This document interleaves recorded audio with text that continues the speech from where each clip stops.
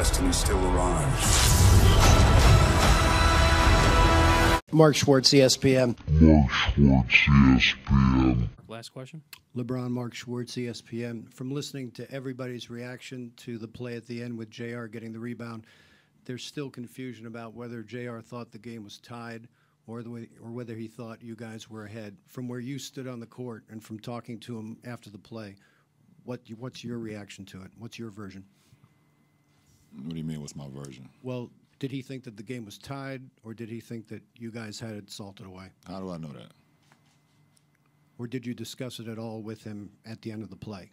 No. They asked me if I talked to JR about it. I said no already. I knew it was a tie game. We met, we, we was down one. Um, George Hill went up. He made the first one. We got the offensive rebound. You know, I thought we were all aware of what was going on. That's my view. So I don't know what JR was thinking. I don't know the question that you're trying to ask. I was just trying to see if you, you knew exactly what his state of mind was. Did he think that you guys had it won, or did he think he was trying to make a play? Not sure.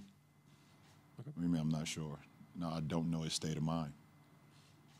Did you know if he knew the score? Thank you.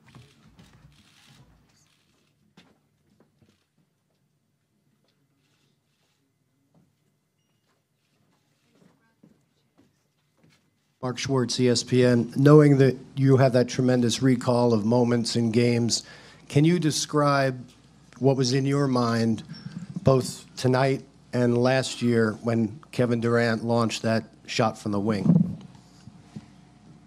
Um, I actually think you should be like a psychiatrist. You want to just keep trying to get in somebody's mind. That's the whole thing, huh, Mark? Uh, my, what's in my mind, miss it so we can get the rebound. Did it feel like last year to you? Did you think of it at that moment? No. Mark Schwartz, ESPN. You know, Steph was unbelievable in this series as well as you were. Nine threes for a finals record. He closes out with 37, and he still never won a finals MVP. But Does it gotta- matter? You does it? Does it? We won two champ. We just won back to back. I don't. I don't think nobody even worried about that type of stuff. Uh, I'm glad that we came out and played a great game tonight. Was able to finish the series off. Um, that's the only thing that matters to us. Can you take me through the final possession where Iguodala hit the three? There was about five seconds left on the clock when he took it.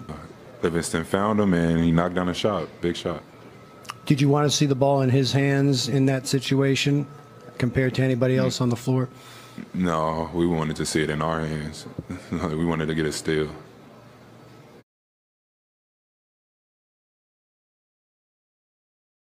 Second row on the right, Mark. Kawhi, Mark Schwartz, ESPN. Draymond Green recently called himself the best defender of all time.